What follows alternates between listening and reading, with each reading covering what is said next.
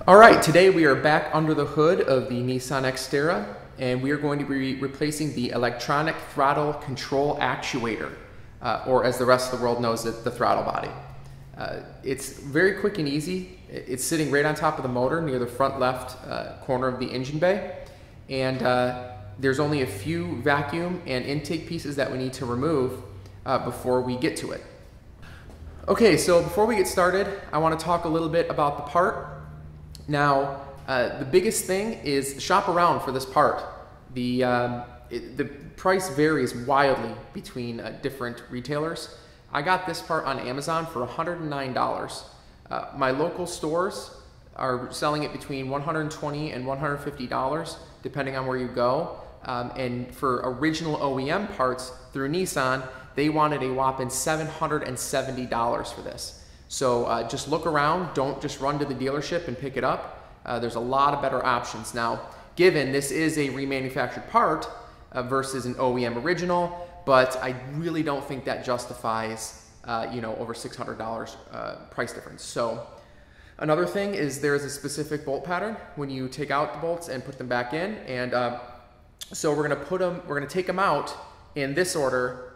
And then once we take them out, uh, I think they're all the same. I'm pretty sure they're all the same. But when we put them back in, we have to put them back in in this order. So um, pretty specific. Uh, I don't know really what the big deal is. It is going into a plastic piece, so that's probably why. Uh, they don't want you torquing too much on one side and breaking something. So uh, we're gonna go ahead and get started, taking off some of the vacuum and intake parts and get to this guy and replace it. Start by removing the steel ring closest to the airbox and disconnect this hose. Next, remove this engine cover and pull it off the top of the motor. It's a size 10 millimeter, by the way.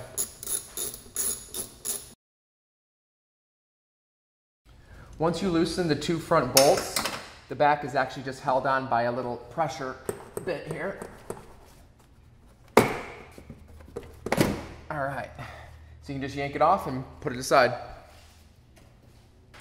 Next, take a pair of pliers and just remove this vacuum hose from this front airbox here.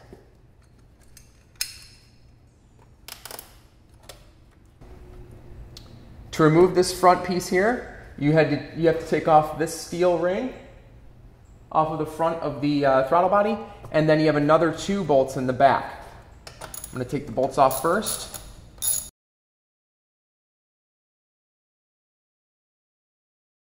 Then take your screwdriver and loosen this metal ring closest to the throttle body. And the whole thing should just slide out.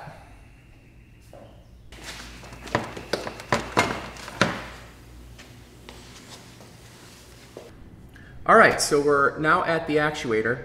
Uh, we need to remove these hoses here, these two bottom hoses, and this one electrical connector. Now, these two hoses are actually filled with antifreeze. So uh, what you want to do is grab a container, and I actually have this old um, window cleaning solution um, uh, bottle here. Now I'm gonna try this. I don't know how much fluid is in here. Um, I'm actually just gonna slide this bottle down right underneath, open it up and let it drain into this bottle. The other option, which I really do not wanna do, is empty the system. Um, and that seems like a huge pain for something uh, this small. So I'm gonna remove it. Hopefully um, I don't run out of space and then we'll be able to remove both these hoses and then take the actuator off. Okay then, that was only a little bit there. Let's try the other one.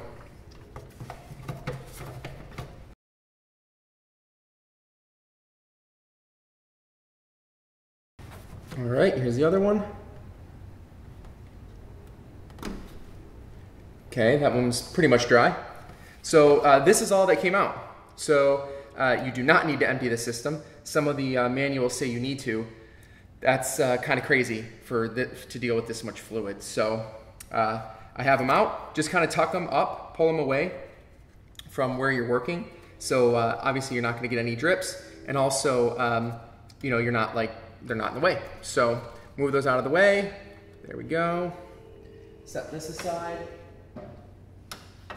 And now we just gotta remove this connector, which should just be a good old pinch.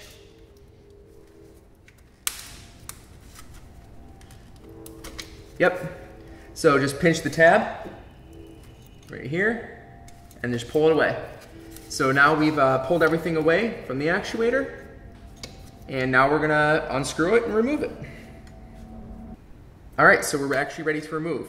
Now remember, we gotta take the bolts out in a particular pattern so it's uh, the bottom right first, top left second, bottom left third, upper right fourth. Uh, I, I found the that the bit is just a number five uh, Allen wrench, effectively. So uh, let's start taking it off.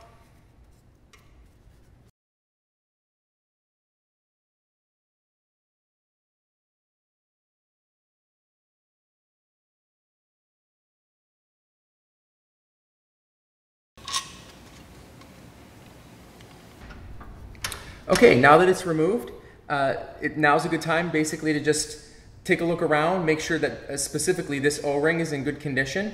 Uh, you may have to replace it if it's dried or cracked or ripped or whatever. Uh, mine looks good, so I'm gonna leave it. And then also the condition of this, make sure there's nothing blocking the airways, um, you know, any obstruction, any broken tines, anything in there.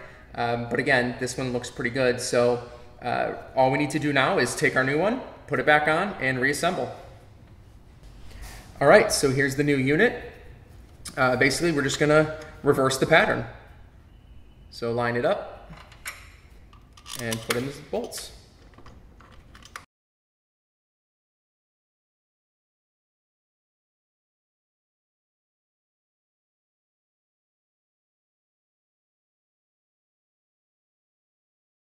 All right, so now that all the bolts are in and finger tight, uh, just go ahead and tighten them down in that same pattern.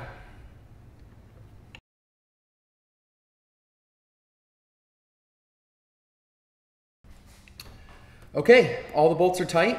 Now uh, just reverse the entire process to reassemble.